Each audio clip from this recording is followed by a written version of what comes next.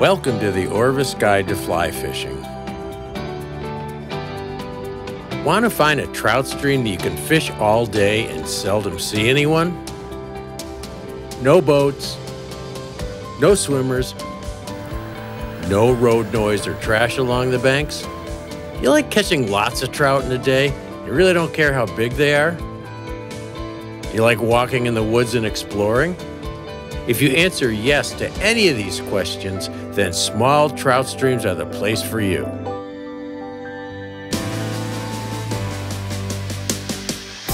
Oh, yeah, nice fish!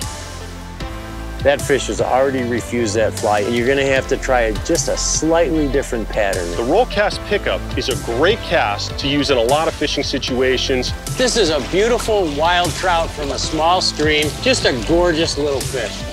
I say hit that bank. Let's go to that grass bed.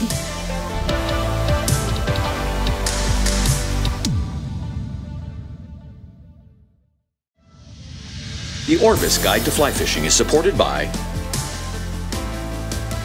Orvis Fly Fishing, Yellowstone Teton Territory, Crazy Rainbow Ranch, Adipose Boatworks, Global Rescue, Trout Unlimited, Oskar Blues Brewery. You know, most people would drive by this little stream and never think about fishing it. They think, oh, it's too small to hold fish, too small to hold a decent fish. Nobody else around, no boats, no inner tubes, and solitude. What could be better? We're going to talk about small streams in this show, but first, a bit of clarification. By small streams, I mean those streams that are too small to float a boat and anywhere from the width of a two lane country road to ones you can step across. These are the streams that most people don't bother to fish, and the ones you'll seldom find any written or internet information on. So you either need some local intelligence by visiting a fly shop and buying something, or you should have an interest in exploring. It's what I like best about small streams. You never know what you'll encounter until you get out there and fish them. Most of the fish you catch will be small, and you need to learn to appreciate them in perspective. However, there's always hope that you'll find that one big trout hidden in a deeper pool in a small stream. If you appreciate the beauty of little gems in beautiful places, you'll soon learn to love small streams the way I do. You know, a lot of people would laugh at a fish like this, but this is a beautiful wild trout from a small stream. He fought pretty well. He's never seen the inside of a hatchery tank. He's got beautiful, beautiful, clean, white edge fins. Just a gorgeous little fish.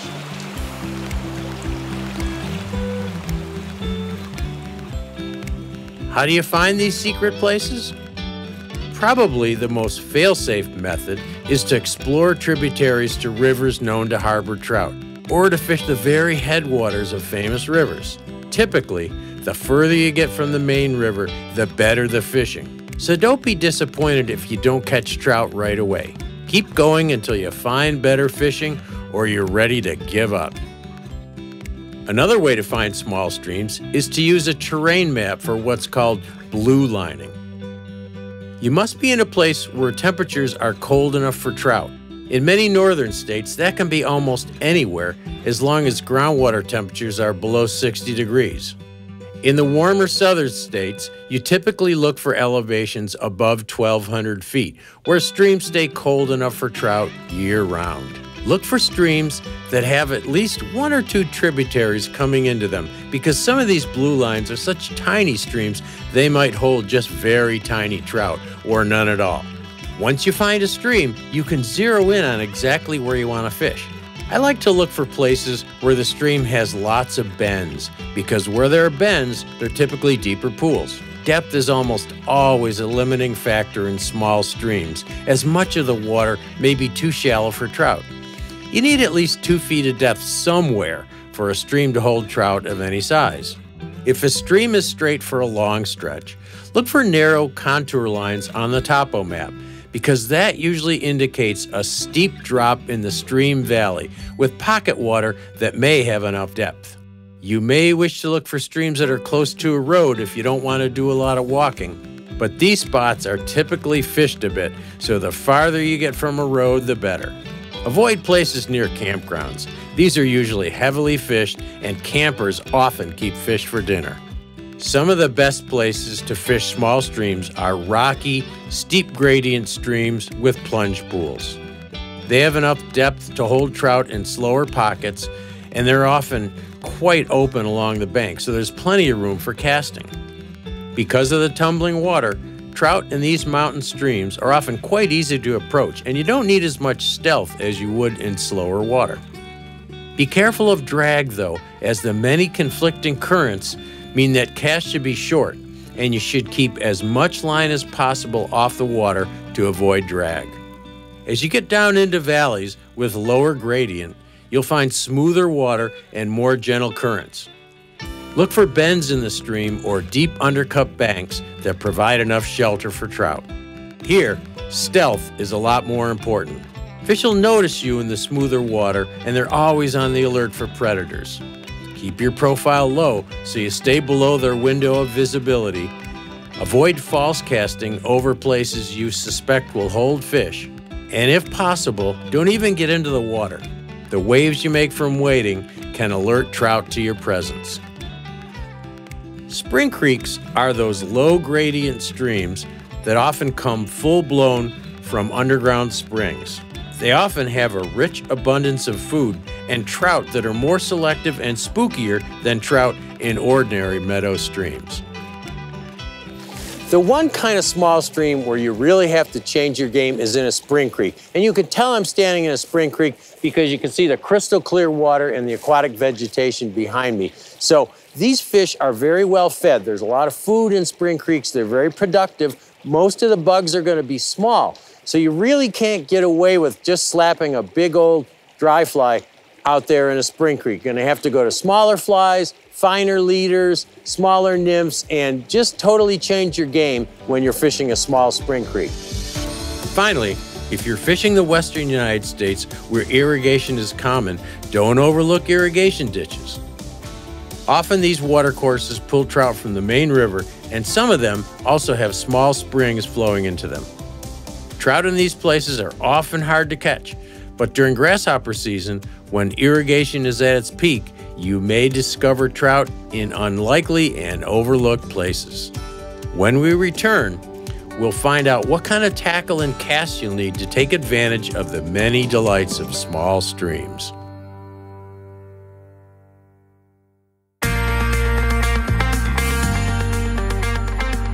The good news is that you probably already have the tackle you need to fish most small streams. There's a tendency to want a short, tiny rod for small streams, but a longer rod is often desirable, something between 8 and 9 feet long. So a lot of people think you need a super short rod to fish small streams, but that's usually not the case. In a mountain stream like this, you want to hold lots of line off the water. You want basically just part of your leader and the fly on the water. And with a super short rod, you just can't hold that much line off the water. So a longer rod sometimes helps. There's nothing wrong with scaling down your tackle, though, and some people just like the idea of using a smaller rod for these mostly smaller fish. If you really get down into the weeds in tiny brushy streams, a rod from six to seven and a half feet might give you a bit more room to cast. But think about it, you're only getting about a foot of extra room for casting with a shorter rod. If you're gonna do this kind of stuff, you need to modify your tackle a little bit. Um, modern, most modern fly rods are optimized to cast about 35 feet of line. The problem is in small streams, you're often casting just a few feet of line. So one of the ways you can do this is you can get a rod that has more of a full flex action that's optimized to cast shorter lengths of line, like this Superfine. The other thing you can do is you can use a fiberglass rod. Fiberglass by nature or bamboo fly rods are slower action. They'll bend more at short casts and they'll be able to throw those short lines. Plus, they roll cast better. And a third option, if you don't want to get another rod just for small streams, is to overline your normal fly rod by one or two line sizes. So if you have a four weight rod and you want to fish really small streams, then put a five or six weight line on it. That'll make the rod bend more, it'll roll cast easier, and it'll be much better in small streams. The rod size you choose, knowing that you might have to overline it, should reflect the flies you use. Typically on small streams, we use flies that are surprisingly large because the fish are hungry and often not selective. Plus, it's nice to fish a fly you can see. Dry flies in sizes 10 through 14 are pretty standard, with nymphs in the same sizes. So 4 and 5 weight lines are perfect. You can go lighter if you want to use a smaller rod, or as heavy as a 6 weight if that's all you have, but I would not go any heavier than a 6. Lines and leaders for small streams couldn't be easier. You need a floating line and a 7.5 foot 4X leader for nearly every small stream you fish. Most of this fishing is dry dropper or dry fly fishing, and often your line doesn't even touch the water. Even if it does, the water's so shallow, so a sinking line would only get you into trouble. Keep it simple. Leaders for this kind of fishing should be standard nylon tapered leaders, anywhere from 7.5 feet long to 9 feet long. You can use longer leaders if you like, and sometimes you need them in the flat meadow streams. But for the most part, because both casts and drifts will be short, a shorter leader turns over better, and even with a short leader, you won't put your fly line over the fish. So for small mountain streams like this, there's no better tool than a Tenkara rod. It's very simple fly fishing. It has no reel. You tie the line to the end of the rod, and it has no fly line. What you have is a piece of level line that's about one and a half times the length of the rod, and it's highly visible. It's highly visible monofilament. And then on the end, you just have four feet of 5X tippet. That's all you need. One of the biggest advantages of a Tenkara rod is that you have no fly line, so you can keep that light line in the air. You keep all your line off the water, just a little bit of your tippet, and you get really great drag-free floats. The roll cast will become your best friend on small streams because it has no backcast. And slower rods or overlined rods roll cast better than stiffer ones. To learn how to perfect your roll cast, let's visit my friend Pete Kutzer for some instruction on fine tuning this cast.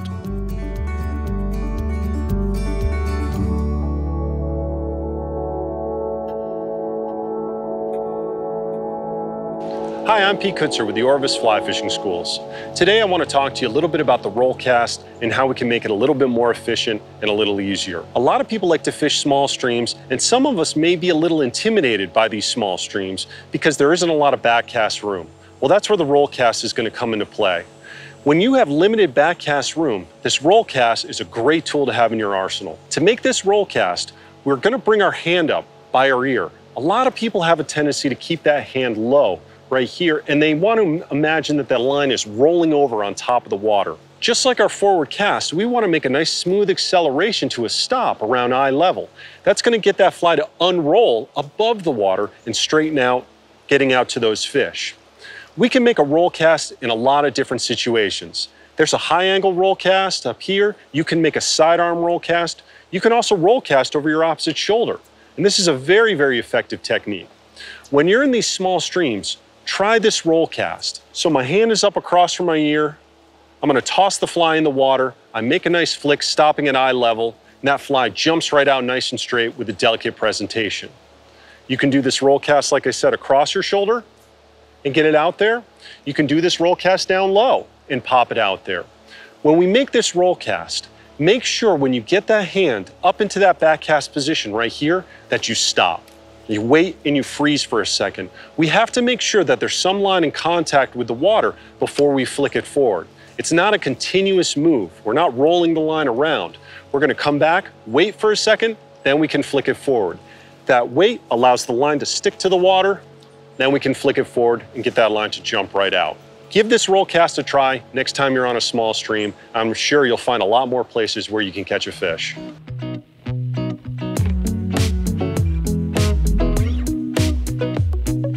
So you're almost ready to start exploring small streams. When we return, we'll talk about the flies you'll need, how to work a small stream, and how to approach these mostly little fish.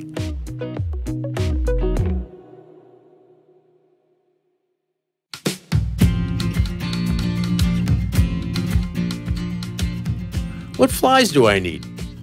Should I work upstream or down? How do I fish really tiny, brushy streams?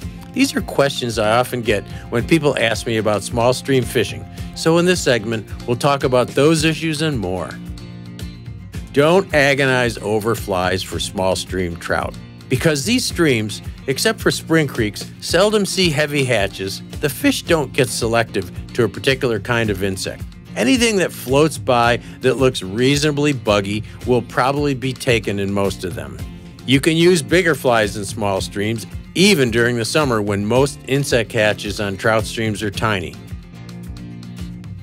These fish eat a lot of terrestrials like grasshoppers and beetles, ants and moths, but you don't even need to imitate these insects specifically because small stream trout see a great variety of bugs. The best dry flies are ones that float well because some of your casts will be roll cast and you don't want to false cast much in tight quarters. I like stimulators, parachute Adams, foam bodied flies, and elk hair caddis for small streams. But you may have other favorites. You should be able to see your fly because small stream trout strike quickly and you want to see the rise. And also, because you need to keep an eye on your fly to make sure it's drifting properly. You know, most of the time, all you need in a small mountain stream like this is a big bushy dry fly. But I've gone through some pretty good water, including this pool that I'm now sitting in, and I didn't pick up a fish. I know they're here. And I've gotten just a few half-hearted rises and one small fish to this dry fly. So I'm gonna add a nymph. I'm gonna add about, I don't know, maybe six to eight inches of 5X fluorocarbon to the end of my dry fly, put on a smaller nymph, and the dry fly will be my indicator, and they may also take the dry fly. But now I've got two choices for the fish. The nymph dropper should be just slightly longer than the average depth of the water, or even shorter, because you don't need to scratch bottom with your nymph on these small streams. Often, you'll catch half of your fish on the dry and the other half on the nymph. Just as with dry flies, you don't need to agonize over your nymph selection. Just pick a popular nymph in size 10 through 14. Use standard nymphs for shallower places and beadhead nymphs in the deeper pools. In those slower meadow streams, trout might be a little pickier about their nymphs, and you may need to go smaller and even change fly patterns a few times to find out what they like. People always ask me, should I be fishing upstream or downstream? Well, in a small stream, you don't have a lot of options. The trout are facing upstream, so if you approach them from upstream, there's a better chance they're going to see you and spook. So you have to stay quite a ways from them and make long casts. I can't really swing a wet fly downstream because the stream is too narrow. I don't get any swing. So what I can do is I can throw a dry fly with a lot of slack, or I could hang a little streamer down there and twitch it back up to me. But you're really better off working upstream in these tiny streams. Don't spend much time in each little pocket on small streams. For the most part, trout will either take your fly in the first few casts or you'll spook them with your presence and they won't take anything. Sneak up to an attractive spot carefully, then make a dozen casts and move on to the next good one. You may also have to do a lot of walking between spots to find places that might hold trout. In some small streams, you'll find fish in almost every little pocket. In others, you'll only find them in the very best places. When I fish a new stream, I like to fish everything first. And then, only if I find trout in the deeper, more protected pockets will I move quickly between spots, and then just look for the good stuff. If you're not catching fish in a small stream, just keep moving. It's usually not the fly. I've got a big, attractive dry fly on here. I'm hanging a nymph below it, not picking up any fish. The fish just haven't woken up. So hopefully by moving, you'll find a place where the fish are a little more agreeable. It's really challenging to fish very tight, brushy streams with a fly rod. But the upside is that you may be the only one who ever fishes that spot with a fly, or the only one that ever fishes it at all. In this kind of water, you'll probably never even fish anything but your leader. One way of fishing these streams is to dap, which is exactly what it sounds like. Sneak up to an opening and dip your dry fly onto the water.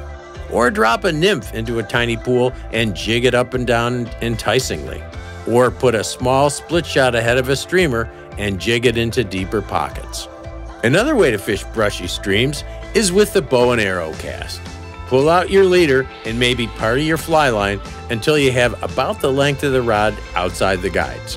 Hold your leader off to one side, opposite your ear, bend the rod back, and let fly by pointing your rod tip at your target. It's not pretty, and you won't get much distance, but sometimes it's the only game in town when you don't even have enough room to do a roll cast. Fish in larger rivers have the comfort of depth, and sometimes you can get quite close to them because they feel secure over deeper water. Not so in small streams where predators like herons, mergansers, otters, and raccoons are just a swipe away. Trout are most frightened by quick movements, so if you can move slowly, you'll frighten fewer fish. Try to stay in the shade if you can, or use background rocks or foliage to keep you more hidden. I don't think clothing color is that critical because it's movement, not colors, that spook trout. So if you just choose colors that roughly match the background, you should be fine. Keep your profile low whenever possible and keep your casting to a minimum. And if you have to false cast, do it at a low angle so the fish don't see your fly line waving through the air. Keep all your movements in a low angle so there's less of a chance a trout will notice you.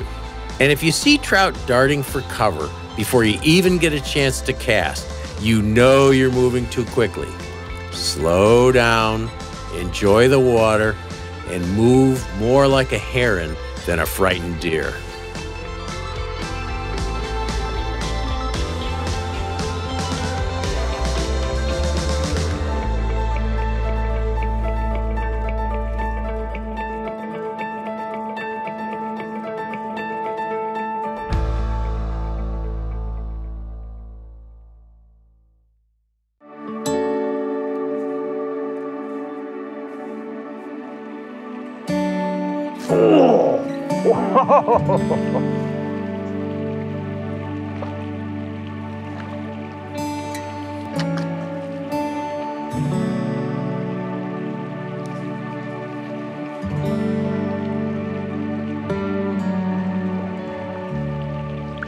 Sorry.